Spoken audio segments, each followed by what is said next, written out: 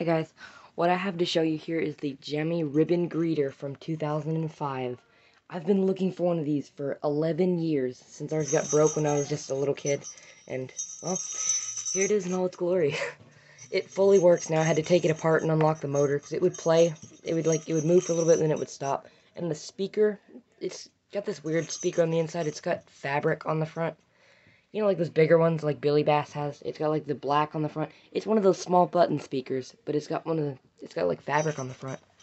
It's really weird, but it was uh, just under three dollars at Goodwill, just sitting right on the aisle, and I saw the end of it right here, and that's all I saw, and I, I just, I almost screamed in Goodwill because I was so happy to find this thing. I just, I can't explain it. I was wanting one of these for so long, but anyway, here it is in all of its glory.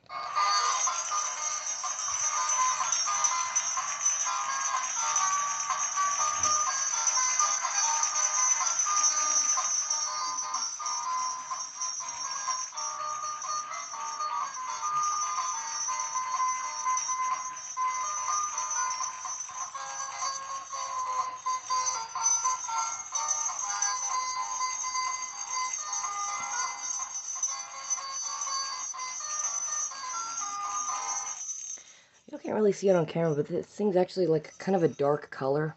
It doesn't show up on camera. It's more of a red velvet color instead of that bright red that it's showing. But anyway, here's the second song. I thought it played three songs, but it doesn't. It only plays two.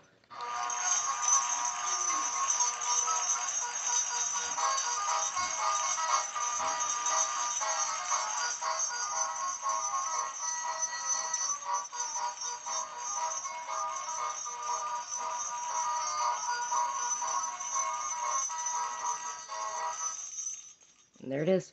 Let me know in the comments if you want a speaker rip or audio rip of this. Um, it's easy to take apart. You just lift this flap up at the back. Let me set it on the ground. On my brand new carpet that I just bought for 40 bucks. And there's the back. It's got 292 written on the battery case as well. But that's not actually the speaker. That's just a outline for it, I guess.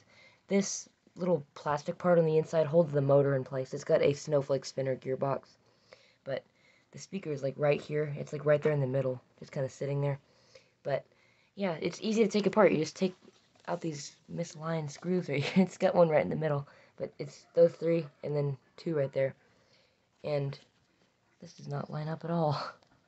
Yeah, there it is.